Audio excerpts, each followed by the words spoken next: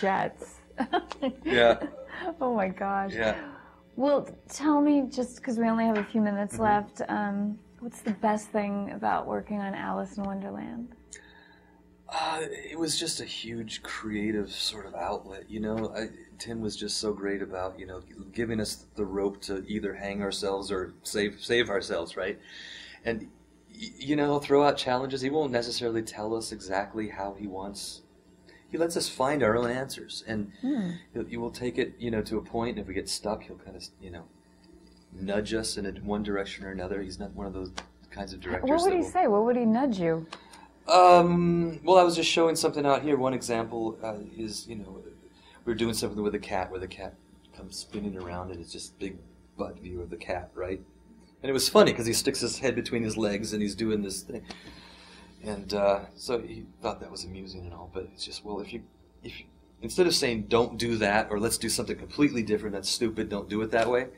It's like, okay, all right, if you're going to do that, just make sure that, you know, spin him around so we don't focus on his ass so much. Right? You know, and then we'll, and then we go on, you know, and then he'll say, or try, or experiment with, or you might explore doing.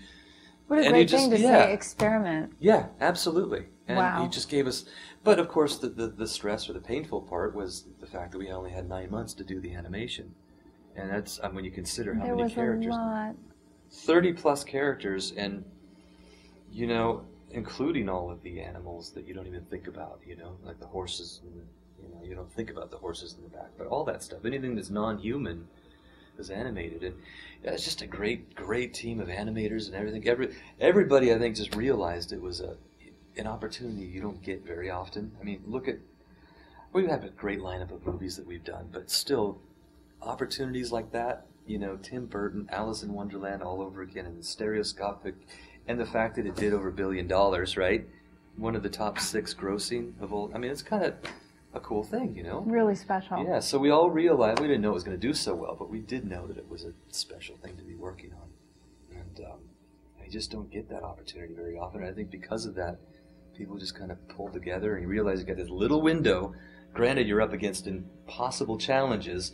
You could either, you know, throw your hand up and surrender, or say, you know, you're not going to get this opportunity again. So I think everybody just pulled out all the stops and just Wow. gave it everything they had. Yeah.